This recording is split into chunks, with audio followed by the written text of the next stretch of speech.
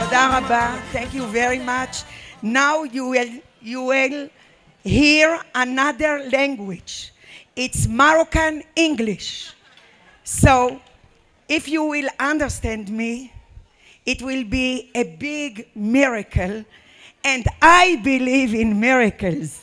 I believe in miracles. I am Miriam.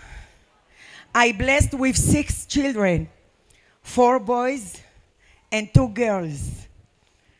All my boys fought together in a special unit. It's called Sayeret Golani. Two of my boys are not here, but I take them with me to this event. And you can feel my children that they are with me every moment.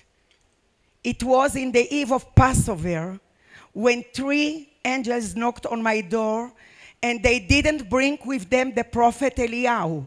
Rather, they were the bearer of terrible news. My second son, Eliraz, 32 years old, a father of four little children. The biggest was six years old. The little was two months old. He killed in Gaza Strip, fighting the terrorists that come to kill our children. When I saw the people that are outside my home, I ran, I shut the door, so no one could enter. When they finally come in, I beg them and, and pray. Don't say a word. Don't deliver the news.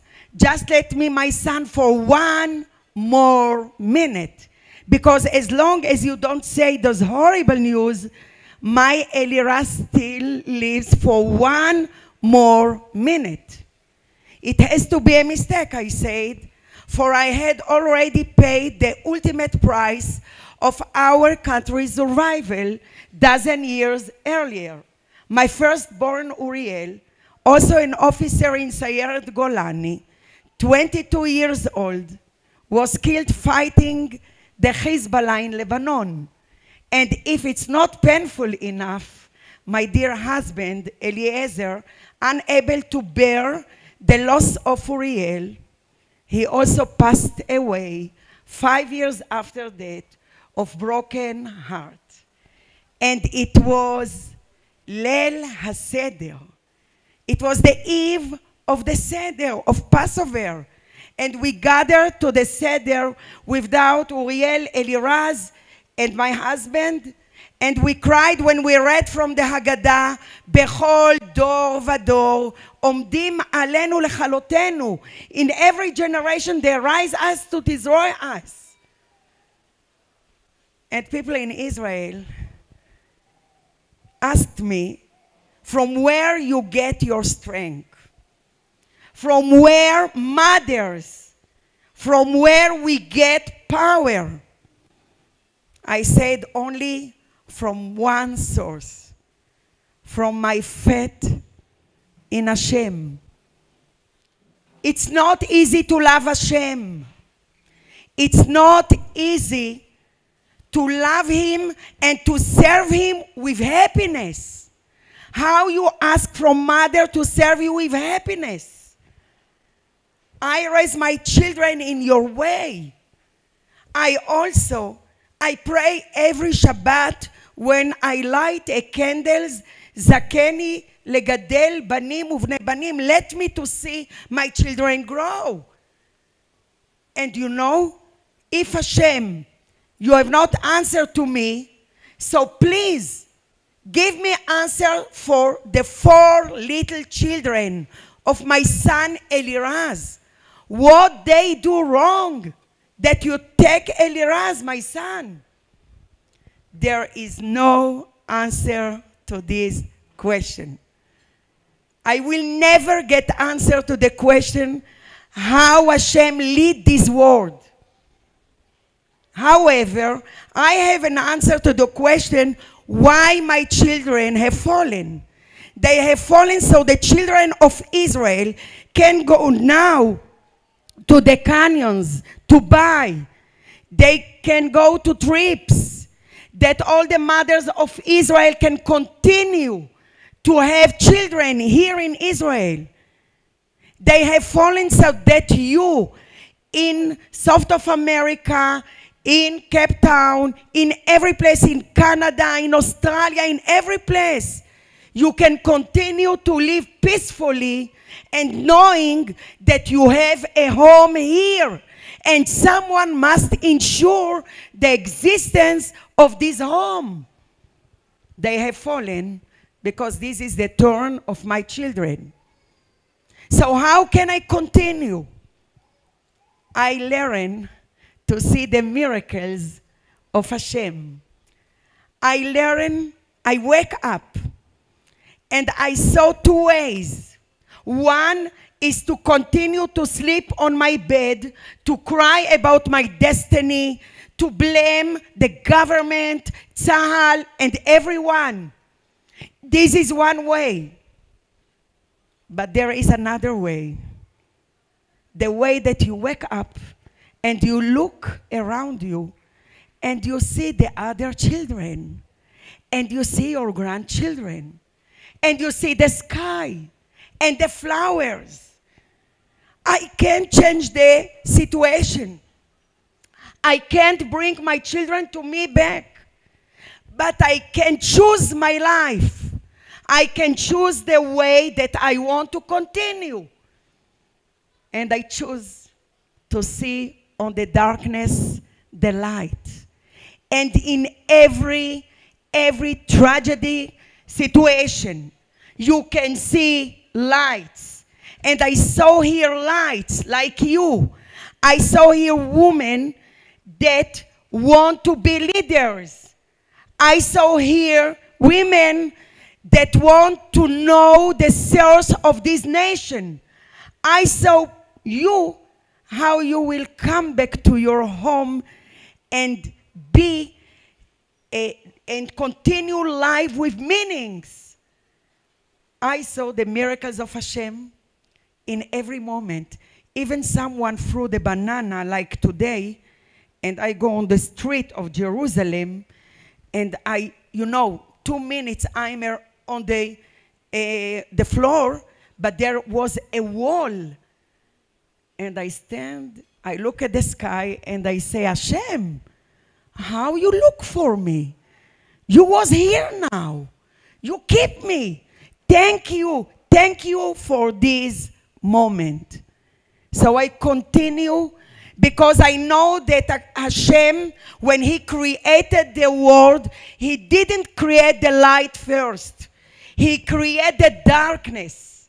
And only from the darkness you can see the lights.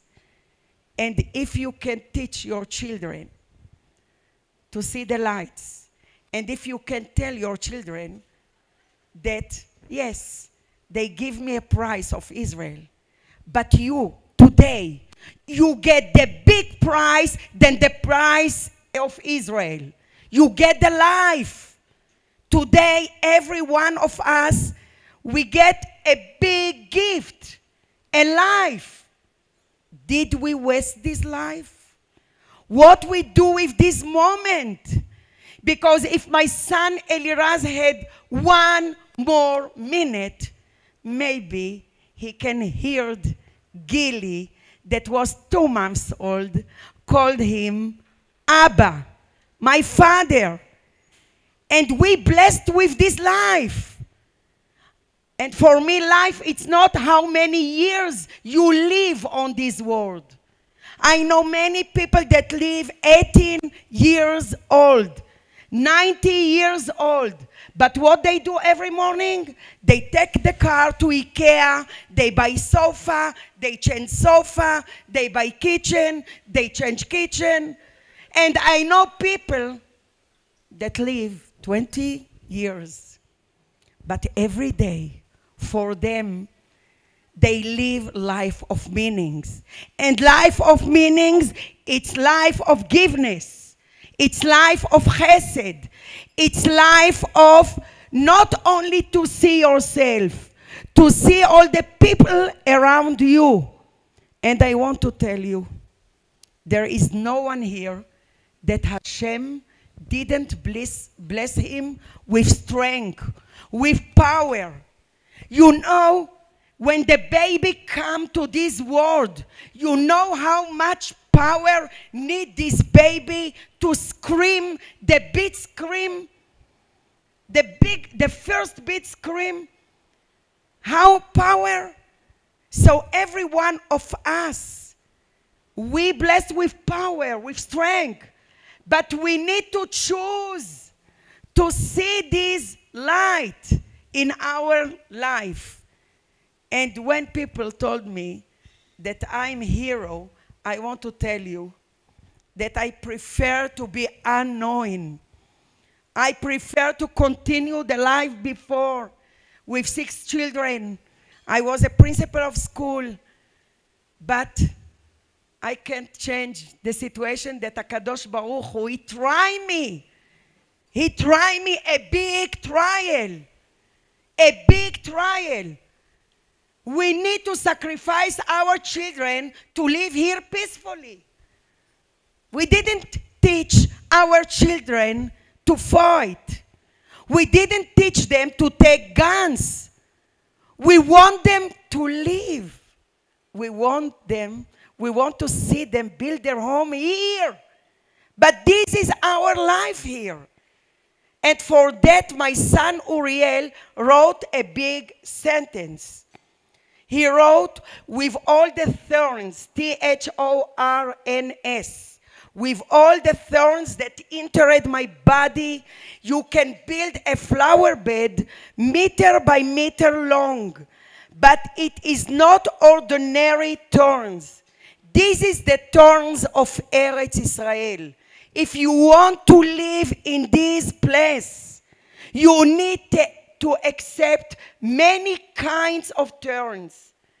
And I prefer the thorns of Eretz Israel than the flower of all the world. This is the thorns. I was not, I have not a privilege to be born here. I was born in Morocco. I made Aliyah in 1964. And in my speech, I said that one night, my father say, this night the Mashiach will come. I ask him how I will recognize this Mashiach. And he said he will come with short, with sandals, and with a shirt. I ask, who is this Mashiach? This is the Shaliach of the Jewish agency that take us from Morocco to this homeland. And my parents didn't know to read and they didn't know to write. But they know only one word in Hebrew. Only one word. Yerushalayim, not Jerusalem. Yerushalayim. And my father told us that in Jerusalem you can see trees and you can get from these trees honey and milk. Where is all these trees? My Jerusalem is stones. And when I walk in the world in Jerusalem, on the, when I walk, I only hear, hear the heart of all these soldiers that died in this Jerusalem to let me to continue to be here. And I'm so happy to live in Eretz Israel, in my homeland. And I ask myself every day how I can be, how you say, Reuya, worthy to my children. How I can be worthy to them. It's only to walk and to take with me the character of my children, to take them with me and to continue the life. And I choose life. Why? Because I'm a redhead. And you know, the redhead, they are very optimist. I love the life. I love and I, I pray to Hashem to give me to give me time to be with my children and grandchildren.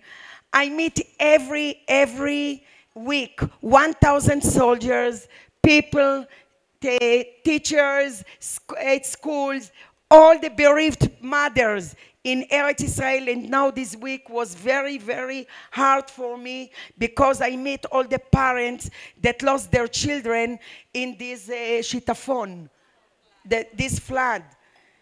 It was very, very difficult. But I'm there to tell them, yes, I can bury my children and I can continue.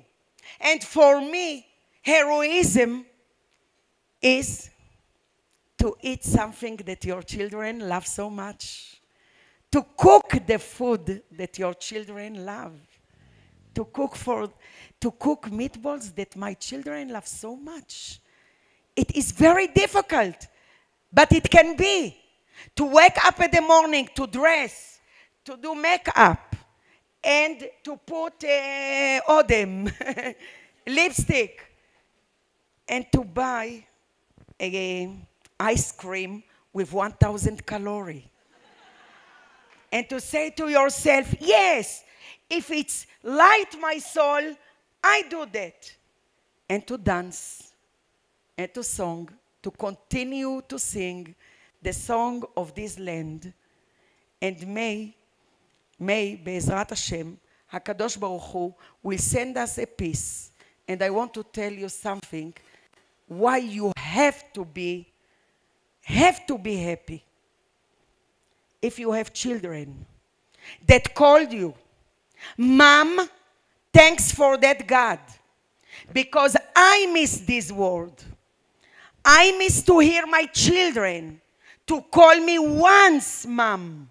Once. And you have children that you call you mom, please hug them. And thanks God for this minute. And I only want to ask God not to let no mother in this world to do the decision that I do every time when, when I come to Mount Herzl. Because the grave of my children, there is two meters between the grave of Uriel to the grave of Eliraz. And every time when I come to Mount Herzl, I choose one of my children. I can't hug two children. I choose one grave.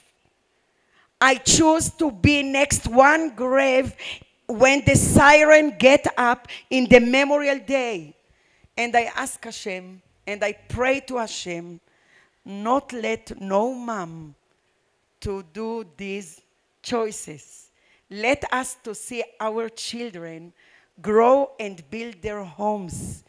And I wish for you, for us in Israel, to see our children and to see this peace that we praise so much. And to see this Jerusalem that my father dreamed about this Jerusalem in Morocco in Sahara Desert. To see this Jerusalem, the building and how העיר הזאת גדלה ופורחת ויהיה בה צדק ושלום. תודה רבה.